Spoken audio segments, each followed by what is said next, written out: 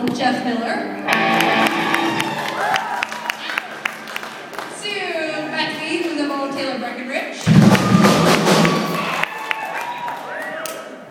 Sur basse, nous avons Nick Casale.